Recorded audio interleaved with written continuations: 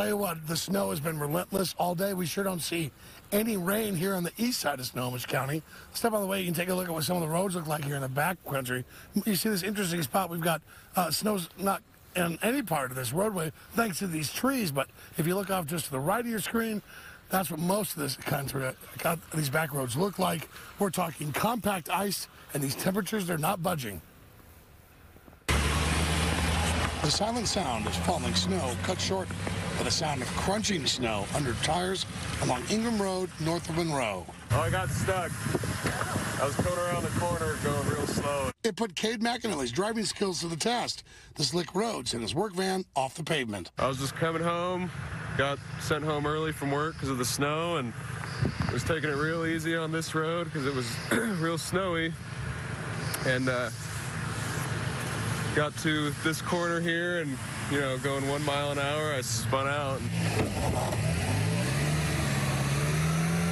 Thanks to his uncle and a tow strap, they pulled his van to safety. More annoyed than anything.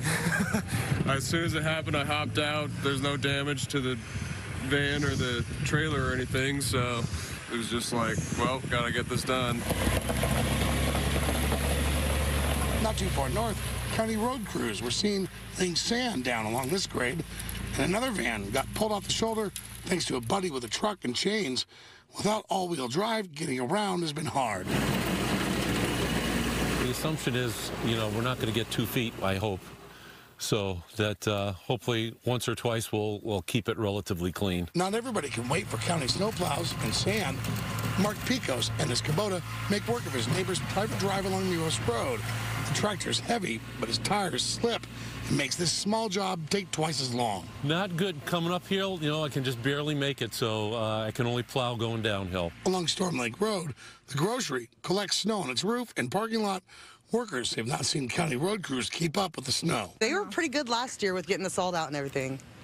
Yeah. But I don't know. I haven't seen them yet. I haven't seen one. I saw one on 522 on my way to work this morning, but that was it.